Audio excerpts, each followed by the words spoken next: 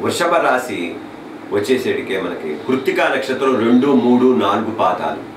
కృత్తికా నక్షత్రం రెండు మూడు నాలుగు పాదాలు. రోహిణి ఒకటి రెండు మూడు నాలుగు పాదాలు. ఇక మృగశిర ఒకటి రెండు పాదాలు మాత్రం వృషభ రాశి కింద వస్తారు. వీళ్ళకి ఆదాయం పదకొండు అండి. అద్భుతంగా ఉంది. ఆదాయం అద్భుతంగా ఉంది. మరి వ్యయం ఐదే. చాలా అద్భుతంగా ఉంది. ఖర్చు చాలా తగ్గిపోతుంది. రాజపూజ్యం ఒకటి అవమానం మూడు. విమర్శించే వాళ్ళు కూడా తక్కువగా ఉన్నారు. ఈ రాశి వాళ్ళకి ప్రారంభంలో ఏ పని చే చేయుటకు ధైర్యం చాలకుండా ఉంటా శత్రు బాధలు రోగ బాధలు వ్యాపార వ్యవహారాలు కలిసి రాకుండా నమ్మిన వ్యక్తులు దగాలు కుదిరి అకాడ కలహాలు ఏర్పడిన అక్టోబర్ నుండి క్రమేపీ పరిస్థితులు చక్కబడతాయండి. అక్టోబర్ నుంచి చాలా బాగుంటుంది. ముఖ్యంగా గృహంలో వివాది కార్యక్రమాలు నెరవేయట బంధుమిత్రులు కలయిట కలియుట విద్యు భోజనములు చేయుట అనుకున్న పనులు నెరవేరుట వ్యాపార అభివృద్ధి ధనలాభము మరియు భార్యాభర్తల మధ్య సఖ్యత చేకూరుట కుటుంబ సౌఖ్యం కలుగుతుంది. విద్యాభివృద్ధి నిరుద్యోగులకు ఉద్యోగ అవకాశములు ఏర్పడతాయి. విద్యార్థులు శ్రమపడి చదివినా కానీ పాస్ అవ్వడం కష్టము. మార్కులు ఊహించిన దానికంటే తక్కువ వస్తాయి. రెండో ఛాన్స్లో పాస్ అవ్వడం కలుగుతుంది. ఉన్నత ఉద్యోగ ఉన్నత చదువులకు విదేశాలకు వెళ్ళటం కూడా జరుగుతుంది. ఉద్యోగస్తులు అధికారుల వల్ల చిక్కులు శ్రమపడవలసి వస్తుంది. వ్యవసాయదారులకు మొదటి పంట కంటే రెండో పంట మంచి లాభంలో వస్తుంది. ఈ విధంగా వృషభరాశి వాళ్ళకు ఉంది. వ్యాపారస్తులు క్రయ విక్రయాలకు ముందుకు సా చురుకుగా సాగవు. టీవీ న- సినీ నటి వర్గాల వారికి కళాకారులకు గాయకులకు తగిన గుర్తింపు ఉండదు. క్రీడాకా క్రీడాకారులకు మొదట నిరుత్సాహంగా ఉన్న తర్వాత విజయం సాధించి తీరుతారు. రాజకీయ నాయకులు ప్రారంభంలో చిక్కులు ఎదుర్కొలసి వస్తుంది. ముఖ్యంగా స్త్రీలకు అక్టోబర్ నుండి చాలా బాగుంది. వివాహ శుభకార్యాలు నెరవేరుతాయి. ఈ విధంగా వృషభ రాశి వాళ్ళకు ఉంది. ఈ వృషభ రాశి వాళ్ళకి ముఖ్యంగా ఈ సంవత్సరం గ్రహస్థితి చూస్తే గురువు ఉగాది నుంచి తులలో ఉన్నాడు. పదకొండు పది వరకు షష్టమంలో తులలో ఉండటం వల్ల అక్టోబర్ వరకు కొన్ని ఇబ్బందులు ఉన్నాయి పదకొండు పది రెండు వేల పద్దెనిమిది నుంచి ఇరవై తొమ్మిది తొమ్మిది వరకు వృశ్చికంలో ఉండటం వల్ల సప్తమ స్థానంలో గురువు రావటం వల్ల అక్టోబర్ నుంచి చాలా బాగుంది. శని ఉగాది నుంచి ఐదు నాలుగు రెండు వేల పంతొమ్మిది వరకు ధనస్సులో ఉండటం వల్ల మనకి అష్టమ స్థానం అష్టమ శని స్థితి మనకి వృషభ రాశి వాళ్ళకి జరుగుతుంది. కాబట్టి శని గ్రహ శాంతి ఎక్కువగా చేసుకోవటం చాలా మంచిది. ఇక రాహు వచ్చేసరికి ఉగాది నుంచి ఏడు మూడు రెండు వేల పంతొమ్మిది వరకు కర్కాటకంలో ఉన్నాడు.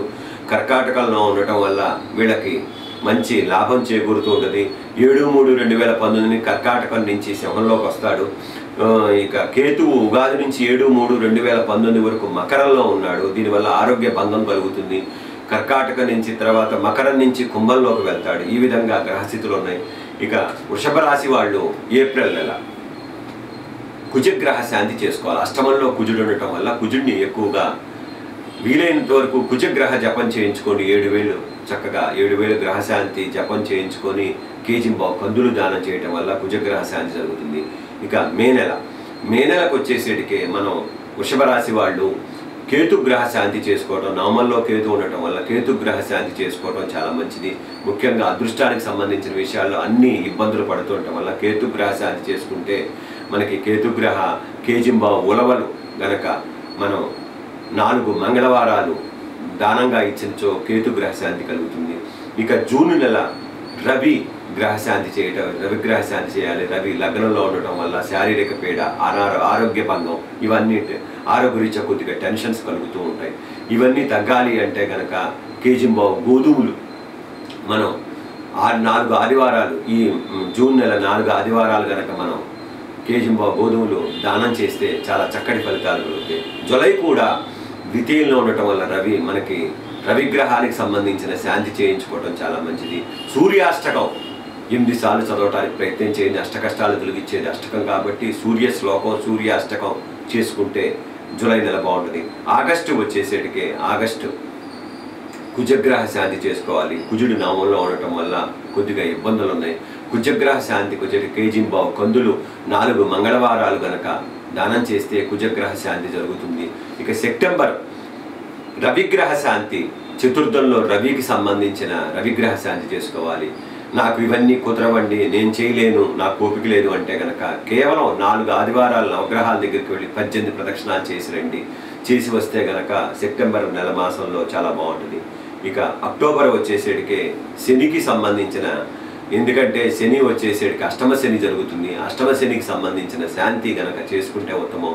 నాలుగు శనివారాలు తైలాభిషేకం. మీ దగ్గరలో ఉన్న శివాలయంకి వెళ్ళి నల్ల నువ్వులు నువ్వుల నూనె నల్లగుడ్డ వేసి ప్లస్ మళ్ళీనేమో ఆ, బెల్లం ముక్క నైవేద్యం పెట్టి వస్తే చాలా మంచిది. నవంబర్ మాసంకి వచ్చేటికి శుక్రగ్రహ శాంతి శుక్రుడు లగ్నాధిపతి షష్టమ స్థానంలో పడ్డాడు కాబట్టి శుక్రగ్రహ శాంతి.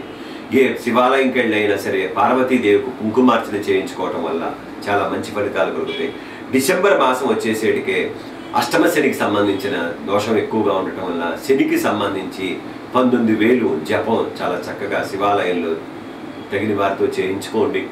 శనిగ్రహ జపం పంతొమ్మిది వేలు చేయించుకొని కేజీ బాబు నల్ల నువ్వులు కనుక దానం చేస్తే చాలా చక్కటి ఫలితాలు వస్తాయి. జనవరి మాసంకి వచ్చేసేటికే జనవరి రవికి సంబంధించి రవి అష్టమ స్థానంలో ఉండటం వల్ల ఆరోగ్యరీత్యాను భార్యకి మనకి తగిన వాళ్ళకి అందరికీ అనారోగ్య ఇంట్లో అనారోగ్య సూచనలు ఎక్కువగా ఉన్నాయి కాబట్టి రవిగ్రహ శాంతి చేయించుకోండి. దీనికి సంబంధించి ఉదయాన్నే లేచి సూర్య నమస్కారం చేయండి. నమస్కార ప్రియుడు భాస్కరుడు కాబట్టి ఉదయాన్నే లేచి ఖచ్చితంగా సూర్య నమస్కారం చేయడానికి ఉదయం మనం సంక్రాంతి వచ్చేది ఆ నెలలు కాబట్టి మకర సంక్రమణం కాబట్టి వృషభ రాశి వాళ్ళందరూ సూర్య నమస్కారం ప్రయత్నం చేయండి. ఇక ఫిబ్రవరి నెల. ఫిబ్రవరి నెల కుజగ్గ కుజుడు ఏకాదశంలో ఉండటం వల్ల కుజుడుకు సంబంధించి రుణబాధలు ఎక్కువగా ఉంటాయి. రుణాలు తీరవు మనకి. ఈ మనం ఇచ్చిన డబ్బులు రావు. మనం ఇవ్వాల్సిన డబ్బులు మాత్రం ఖచ్చితంగా టైంకి ఇవ్వాల్సి వస్తుంది. మాట పడాల్సి వస్తుంది. ఈ కుజగ్రహానికి సంబంధించి గొడవలు టెన్షన్స్ కూడా ఉంటాయి. దీనికి సంబంధించి రుణ విమోచక అంగారక స్తోత్రం ఉందండి. చాలా అద్భుతమైన స్తోత్రం. ఈ అద్భుతమైన స్తోత్రాన్ని మీరు కనీసం మంగళవారం పూట ఏడు సార్లు గనక పారాయణ చేయడానికి ప్రయత్నం చేయండి. మీ అందరికీ చాలా చక్కటి ఫలితాలు కలుగుతాయి. ఇక మార్చి నెల కూజ కుజుడు వ్యయంలో ఉండటం వల్ల అధిక ఖర్చులు లభిస్తాయి. అనుకోకుండా ఖర్చులు మనం ధనమేమో చాలా తక్కువగా ఉంటుంది. ఆదాయం వచ్చే ఆదాయం చాలా తక్కువగా ఉంటుంది. ఖర్చులు ఎక్కువ అవుతాయి.